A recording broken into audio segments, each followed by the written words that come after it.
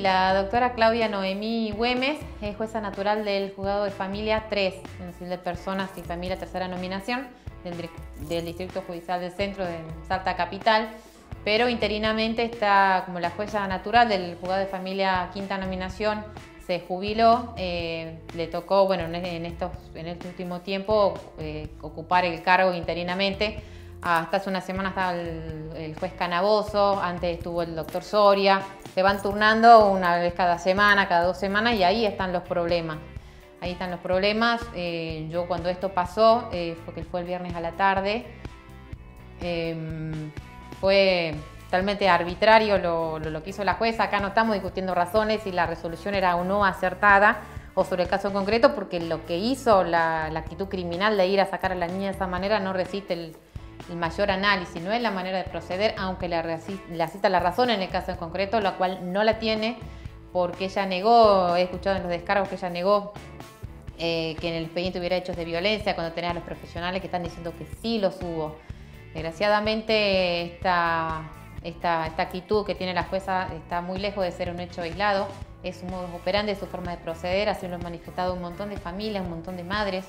eh, que han dado su testimonio y van a ratificar ante la justicia y van a firmar el pedido de jury que vamos a realizar eh, en este sentido, eh, que sus hijos también fueron maltratados por la jueza con descalificaciones, insultos. Hay una mujer ahora que quiere ir hasta el INADI porque su hijo le dijo que iba a ser un gay del futuro si no se accedía a la revinculación con su papá. Son cosas que están muy fuera de lugar y no son formas de hablarle a los niños, porque si justamente tienen una de las convenciones, los tratados internacionales, normas que los amparan, no los pueden eh, dirigirse a ellos de esa manera. De hecho, en tribunales hay salas de juego totalmente ambientados para su edad, con profesionales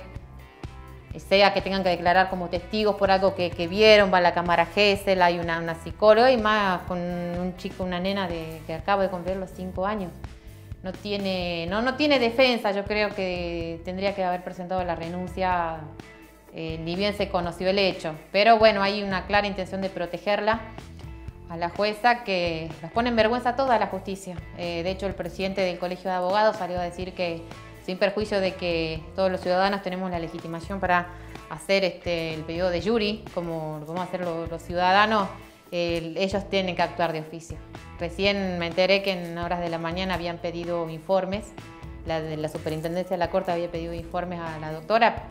pero yo creo que está más que claro. Acá nadie está discutiendo quién tiene razón, si la mamá o el papá, porque es inaceptable lo, lo, que hizo. Es la corporación propia de los medios, del Poder Judicial. Ellos están para protegerse, siempre se protegen entre ellos. Son una, una, suerte de casta privilegiada. Y eso se, probó porque en el comunicado que saca la, oficina de prensa del Poder Judicial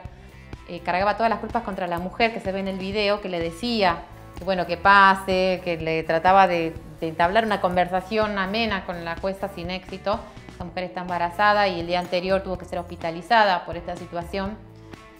Y, la oficina de prensa del Poder Judicial en el comunicado eh, cargó las culpas contra ella, que obstruía la justicia y demás cosas que, eh, que no quería, que quería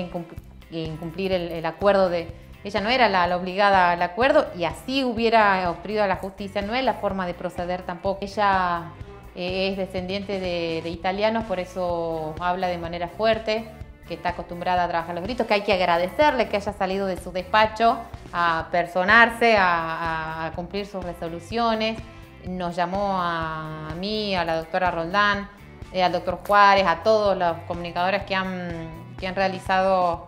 que han visibilizado este maltrato, nos llamó a hacer un mea culpa, que ya iba a ver si nos pedía sanción o cosas por el estilo y los demás han guardado un vergonzoso silencio. Este, un vergonzoso silencio en algo que, indigna a todos. Nos vamos a juntar con la familia, no solo con el papá de, la, esta criatura, sino con, otros papás, a elaborar un pedido de, de jury contra la, jueza por entender que en ese estado, con ese, con ese carácter, en ese, con ese modo de violencia, no está en condiciones de sellar el destino de las personas, porque está en un juego de familia, no está en un con todo respeto con los colegas, con, no sé, no es una jueza civil o comercial que el único vínculo que por ahí una de las partes es un contrato de alquiler o de locación de lo que sea. Eh, no, este, acá se sella el destino de las personas y esta señora decide dónde va a vivir eh, una niña hasta que, hasta que sea mayor y tenga capacidad de decidir ella, no es cualquier cosa. La mujer no, no puede estar eh, a cargo de, de un juzgado así. Dijo que era un armado político, que era una cuestión política contra ella y en ese sentido no se equivoca porque si hay muchos padres que están reclamando que, el Estado que te tiene que proteger maltrató a sus hijos, claramente es una cuestión política, es no partidaria. Si uno ve la, yo no me senté a preguntarle a ver con quién, con qué político simpatizan los padres, este, ni, las radios que han llamado. Esto no es una cuestión partidaria y es una pena que su mirada sea tan chiquitita.